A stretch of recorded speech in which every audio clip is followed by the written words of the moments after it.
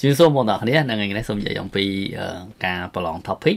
ដើម្បីយកបន្តវីសា E7 ដល់4 2ឆ្នាំបន្ទាប់ពីបងប្អូនដូរវីសាហើយអឺជារួមសម្រាប់បងប្អូនដែលប្រឡងសាវតុងប្រូក្រាម បានពិន្ទុ41ឡើងទៅហើយយើងយកអាពិន្ទុ41ឬក៏និយាយថាកម្រិត3ហ្នឹងមកដូរវីសាពី E9 ទៅ E7 មានបងប្អូនបន្ទាប់ពីដូរ E7 បានហើយបងប្អូនមួយចំនួនគាត់ថាគាត់ចង់រៀននៅក្រសួងទេពីព្រោះដើម្បីតវីសា2ឆ្នាំក្រោយយើងត្រូវរៀនវគ្គសាវេប៉ុន្តែបើបងប្អូនអត់ចង់រៀនសាវេទេបងប្អូនអាចប្រឡង topic បានហើយក៏បងប្អូនថាតើប្រឡងហ្នឹងប្រឡងបានកម្រិតបានបានយើងអាចយកមកដូរ យកមកដូរបន្តវីសា E7 ពីឆ្នាំម្ដងពីឆ្នាំម្ដងមែនទេអ្នកដោយសារមានបងប្អូនខ្លះគាត់ថាកម្រិត2ខ្លះកម្រិត3ខ្លះកម្រិត4អឺអញ្ចឹងហើយមានបងប្អូនយល់ច្រឡំច្រើនហើយមួយទៀតបងប្អូនខ្លះគាត់ប្រឡងសាវតុងប្រូក្រាមសាច់ចុះក្នុងការបានបន្ទុកម្រិត3បន្តមកដូរវីសា E7 ដូរវីសា E7 ហើយគាត់ទៅចុះឈ្មោះរៀនមួយក្រសួងអត់បានទេទៅថាចុះអត់ទាន់គេជារួមការចុះពិបាកទាំងខ្ញុំទាំងគេចុះពិបាកអញ្ចឹងចុះមួយឆ្នាំហើយអត់បានពីរឆ្នាំហើយបានអញ្ចឹងគាត់បារម្ភថាពេលដែលគាត់ទៅតអាពីរឆ្នាំក្រោយហ្នឹងតើគាត់ធ្វើម៉េចមិនអាចតបានអញ្ចឹងណាព្រោះបើសិនជាបងប្អូនទៅប្រឡងសាច់ចំក្នុងកម្មម្ដងទៀតយកមកតគេអត់តអីទេតឲ្យបងប្អូនចូលរៀនរៀនចប់អានឹងមិនអាចតបានហ្នឹងសម្រាប់វគ្គសាវេប៉ុន្តែបើវគ្គ topic បើបងប្អូនអឺ ប្រឡងប្រឡងបានអាហ្នឹងគឺយើងយកទៅតបានឯដោយសារ topic វាជាវគ្គ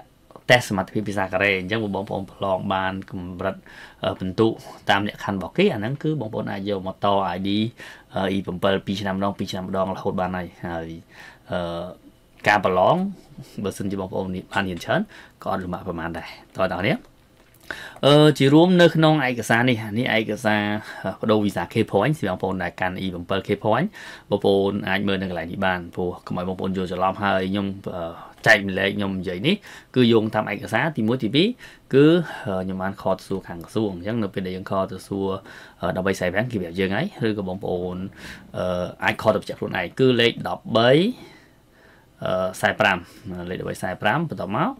បងប្អូនចុចលេខ 14តមកចុចលេខ0ហើយចុចសញ្ញាផ្កាយតោះនេះខ្ញុំប្រៀបម្ដងទៀតចុចលេខ1345ទៅ call call បន្តមកឬគេឲ្យឬភាសាឬភាសាបងប្អូនចុចលេខ14មែនទេ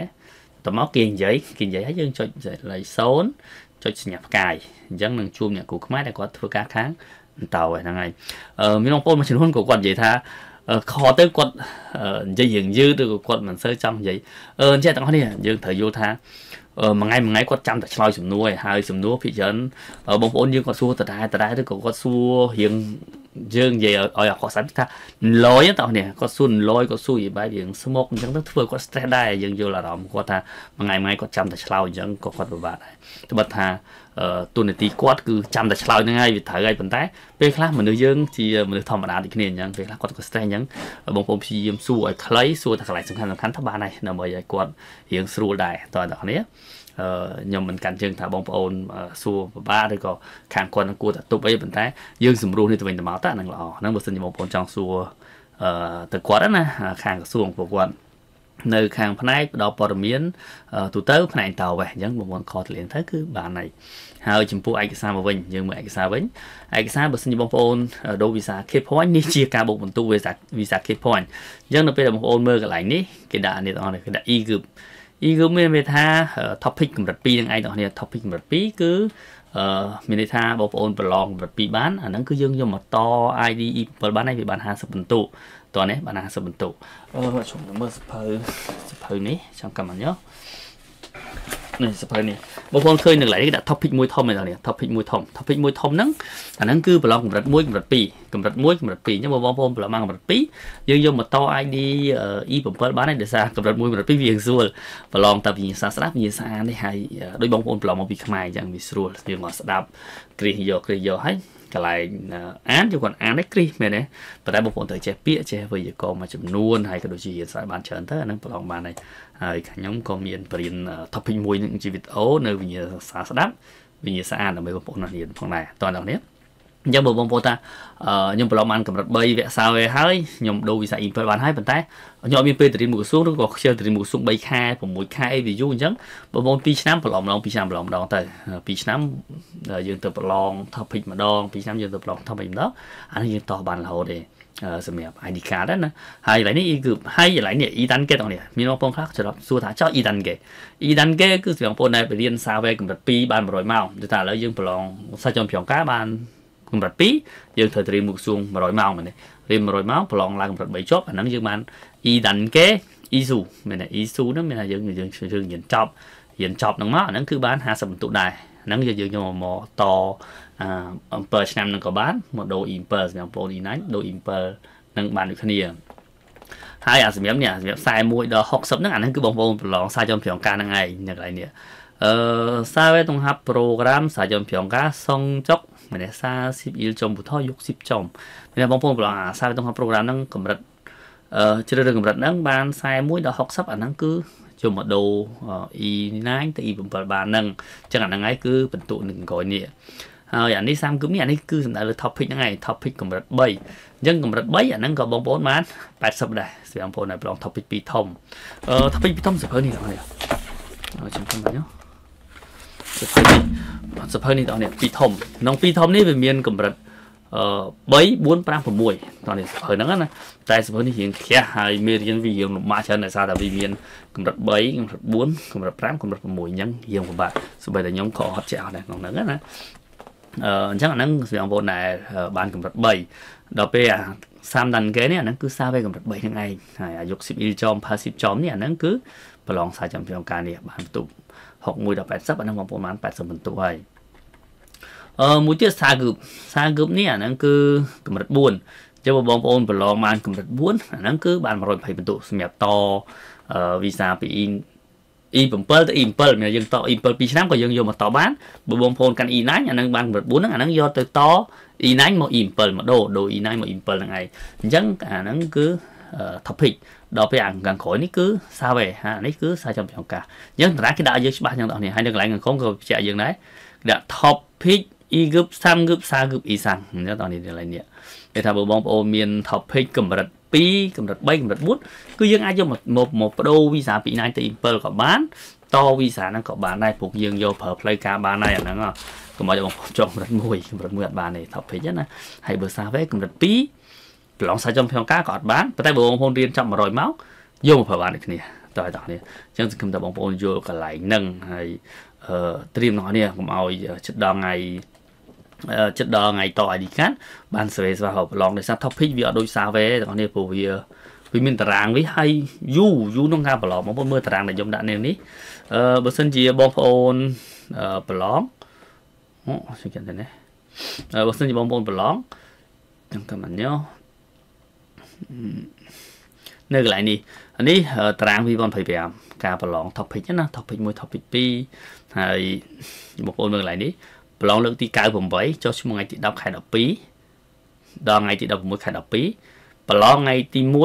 1អាប្រឡងខែ1ថ្ងៃ19អញ្ចឹងខែ1ប្រឡងបន្ទាប់មកប្រឡងលើកទី99ចុះឈ្មោះថ្ងៃទី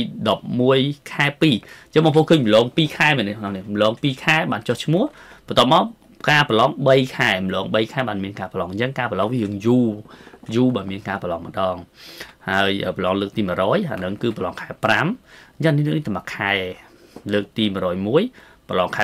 7លើកទី102ប្រឡងខែ10អញ្ចឹងតារាងវាមួយមួយវាចេញតារាងឲ្យយើងមកហើយ view ទាំងនេះ view ចង់និយាយថា view វាមិនប្រឡងខែដោយសារវាសារវាប្រឡងខែបន្តមកបើសិនជាលើកទី103 អញ្ចឹងប្រឡងខែ11ដល់នេះ11 2025មកអានឹងប្រឡងតាមកដាស់គេដាក់នេះ PBT ប្រឡងតាមកដាស់ហើយបើ IBT ប្រឡងតាមកុំព្យូទ័រអានឹងមាននៅកន្លែងនេះ មានខែ2ខែ3ខែ6ខែ9ខែ10ខែ11អឺ PBT និង IBT ហ្នឹងវាគ្រាន់តែមួយប្រឡងកដាស់មួយប្រឡងតាមកុំព្យូទ័រហើយបន្ទុកខុសគ្នាបន្តិចហើយបើសិនជាប្រឡងតាមកដាស់គេប្រឡងថ្ងៃអាទិត្យបើមើលកន្លែងដាក់ il il ថ្ងៃអាទិត្យហើយបើធោអាហ្នឹងគឺថ្ងៃសៅរ៍ ហើយបើ topic មកហាគីប្រងការនេះការប្រឡងនិយាយអាហ្នឹងបងប្អូនគេដាក់តបត់លើតុកបញ្ចឹងគេសួរយើងឲ្យយើងរៀបរាប់យើងនិយាយគេនិយាយសន្ទនាជាមួយយើងហ្មងតែអាហ្នឹងខ្ញុំពិបាកតិចអាហ្នឹងសិការយកឃើញមកខ្ញុំខ្ញុំពិបាកតិចបើបើអាចប្រឡងតាមកណ្ដាស់ឬក៏ប្រឡងតាមកុំព្យូទ័រអាហ្នឹងវាស្រួលជាងបើមកឡាគីនេះសម្រាប់បងប្អូនដែរគិតថាខ្លួនឯងបកកែនិយាយបកកែរៀបរាប់គេដាក់រូបមកគេឲ្យយើងពិពណ៌នាថារូបហ្នឹងទៅណាហើយគេថាអឺគេដាក់រូបហ្នឹងឧទាហរណ៍ទាំងនេះ វារុកអញ្ចឹងឲ្យវិព័ន្ធនេះយើងវិព័ន្ធនេះចេញនិយាយចេញហើយឧទាហរណ៍ផ្លូវបែកជា4អញ្ចឹងមានកន្លែងពហិអីអញ្ចឹងតែយើងទៅបែបណាដើរបែបណាអាហ្នឹងបើសិនជាបងប្អូនអាចពិព័ន្ធនេះចេញអាហ្នឹងអាចទៅប្រឡងវគ្គម៉ាឡាគីនឹងបានហើយប៉ុន្តែសម្រាប់ខ្ញុំខ្ញុំក៏យើងពិបាកដែរចំពោះការទៅនិយាយពីពណ៌នាអញ្ចឹងណាពោះមេវយុឃើញយើងមិនសូវស៊ីខ្សែគ្នាមែនអង្គុយមុខគេអញ្ចឹងខ្ញុំពិបាកដែរអញ្ចឹងនេះតារាងប្រឡង topic សម្រាប់បងប្អូនដែលចង់ប្រឡងអាចសេវទុកឬក៏ខ្ញុំអាចផុសរូបក្នុងនោះដែរហើយ អឺ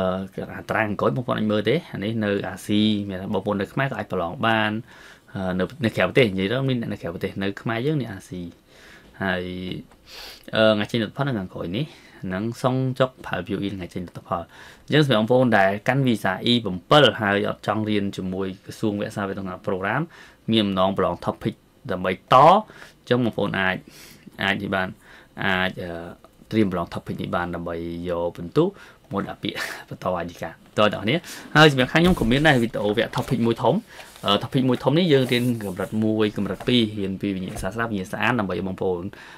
យល់ពីការដោះស្រាយវិញ្ញាសារៀនស្ដាប់ឲ្យបានច្រើនហើយអាចទៅប្រឡងបានកម្រិត2ជោគជ័យដើម្បីបន្ត ID card ឬក៏ដូរវីសាហ្នឹងឯងប៉ុន្តែបើបងប្អូនដែលសាពេលខ្លីអាចរៀនសាវេវិញព្រោះសាវេមានប្រឡងមួយខែអញ្ចឹងបងប្អូនអាចយកស្វូវទៅសិក្សា សភៅវិញ្ញាសាប្រឡងសាវិទ្យា program និងមេរៀនសង្គមកូរ៉េហើយបើសិនជាបងប្អូនខ្សោយពាក្យនៅវេយ្យាករណ៍អាចយកសភៅនេះព្រោះនេះខ្ញុំមានសភៅពាក្យនៅវេយ្យាករណ៍គ្រប់កម្រិតតើអ្នកនេះហើយខាងខ្ញុំក៏មានវគ្គវិញ្ញាសា សាចំប្រងការវគ្គសិក្សាសាវិទ្យា program តាមសភៅក្រសួងផងដែរយើងមកសញ្ញាបងប្អូនទៅការអាចឆាន20ខ្ញុំនឹងរៀបចំជូនហើយខ្ញុំក៏មានសភៅសម្រាប់រៀនប្រើប្រាស់ប្រចាំថ្ងៃក៏ដូចជាប្រឡងដូវីសាផងដែរខ្ញុំមានពីរក្បាលនេះអឺដែលសភៅមួយជាសភៅពយល់អំពីសង្គមសេដ្ឋកិច្ចវប្បធម៌នយោបាយកូរ៉េបកប្រែជាភាសាខ្មែរ ហើយអមទៅដោយវិញ្ញាសាប្រឡងជ្រើសរើសកម្រិតប្រឡងយកទៅដូវីសាហើយនឹងវិញ្ញាសាប្រឡងចំកម្រិត5ដើម្បីបងប្អូនមានធ្វើមកជាមុនហើយផ្ទៀងចំណុចនឹងអង្គយអាចទៅប្រឡងបានពីព្រោះការប្រឡងបើសិនជាបងប្អូនយល់សង្គមសេដ្ឋកិច្ចវប្បធម៌នយោបាយប្រវត្តិសាស្ត្រភូមិសាស្ត្រកូរ៉េយល់ពីការដោះស្រាយវិញ្ញាសារៀនធ្វើវិញ្ញាសាហ្នឹងបងប្អូនអាចទៅប្រឡងបានហើយមួយទៀត ជាសភៅពាក្យនវេយ្យាករណ៍ក្រុមរដ្ឋសភៅពាក្យនវេយ្យាករណ៍ក្រុមរដ្ឋនេះមានវេយ្យាករណ៍ពី1ដល់6បកជាភាសាខ្មែរវាប្រើប្រាស់បំបែកទម្រង់អីគឺយើងបញ្យល់ជាភាសាខ្មែរទាំងស្រុងអមដោយសន្តានាឧទាហរណ៍នឹងប្រាប់ដល់បងប្អូនអាចរៀនសន្តានាបន្ថែមហើយក៏មានពាក្យដែលយើងដកស្រង់ពីសភៅ6ក្បាលនៃភាសាវាមកដែរអញ្ចឹងបងប្អូនរៀនវេយ្យាករណ៍រៀនពាក្យហើយរៀនសន្តានាឧទាហរណ៍បងប្អូនអាចបង្កើតប្រយោគនិយាយប្រើប្រាស់ប្រចាំថ្ងៃបានក៏ដូចជាមានសមត្ថភាពប្រឡងដូរវិសាបានផងដែរអញ្ចឹងសភៅពីរក្បាលនេះបងប្អូនយកទាំងពីរ ខាងខ្ញុំមានបញ្ចុះតម្លៃជូនផងដែរមួយទៀតខាងខ្ញុំក៏មានវគ្គសិក្សាអនឡាញជាវីដេអូតាមសភៅសាវិទ្យាប្រូក្រាមរបស់ក្រសួងពី9ដល់9យើងរៀនទាំងស្រុងហ្មងយើងរៀនទាំងពាក្យវេយ្យាករណ៍សន្តានាស័ព្ទអានវប្បធម៌កូរ៉េខ្ញុំអានជូនបកប្រែជូនបញ្យល់ជូនសម្រាប់ជូនហើយក៏មានចាក់ស្រែងសន្តានាផងដែរដើម្បីបងប្អូនហ៊ានស្ដាប់ប្រសនក្នុងការស្ដាប់ដើម្បីអាចនិយាយប្រើប្រាស់ប្រចាំថ្ងៃហើយងាយស្រួលក្នុងពេលសម្ភាសនៅក្រសួងអញ្ចឹងបងប្អូនរៀនហើយបានទាំងការនិយាយប្រចាំថ្ងៃបានទាំងការប្រឡងដូរវីសា ហើយកម្រិត5គឺយើងរៀនតាមសភៅសង្គមក្រេនិងវិញ្ញាសាហ្នឹងហើយយើងបងប្អូន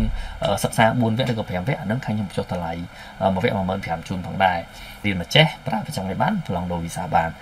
មួយទៀតវគ្គវិញ្ញាសា topic វគ្គវិញ្ញាសា topic អាហ្នឹងយើងរៀនវិញ្ញាសាស្ដាប់វិញ្ញាសាអានហើយនឹងវាដោះស្រាយវិញ្ញាសានិងវេយ្យាករណ៍សំខាន់សំខាន់សម្រាប់បងប្អូនដែលចេះ